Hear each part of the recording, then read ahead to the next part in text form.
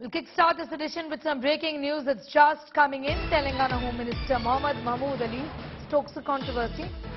Problem if women wear short dresses is what he says. Telangana Home Minister says women must cover themselves.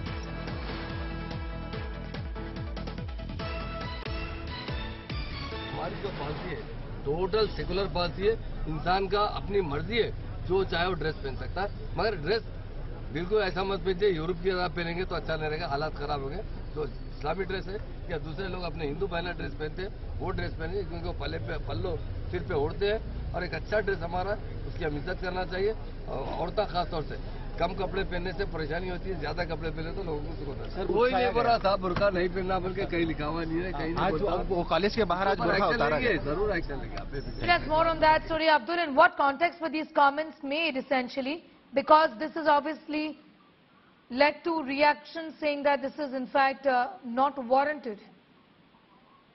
Yeah, absolutely. Uh, this statement of uh, Telangana State Home Minister Mahmood Ali comes after a woman leaving at an examination center.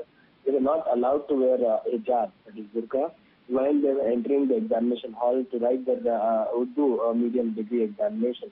Uh, the, the, the, this uh, college management had asked, the uh, you know, women uh, to uh, avoid wearing burqa when they are writing the examination.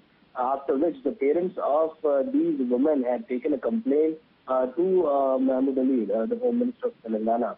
Reacting to this incident, speaking with the media persons, uh, Mu- Mohammad Mahmood Ali had stated that you know this incident that Telangana is completely a secular uh, uh, you know uh, state and uh, any kind of dresses, uh, be it burqa or be uh, the uh, Hindu sisters wearing uh, dresses will be uh, will definitely be allowed. There is no such restriction, and if anybody uh, uh, you know uh, leads to this kind of issue, there will uh, be uh, action against initiated against them.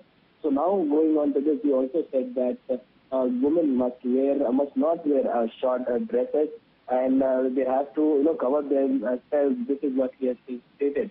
Women wearing short dresses, uh, usually problem arises when women uh, wear short dresses, is what he stated, and this had uh, you know landed in controversy. Over to you. Thanking you for the moment, Abdul Bashir, with that report.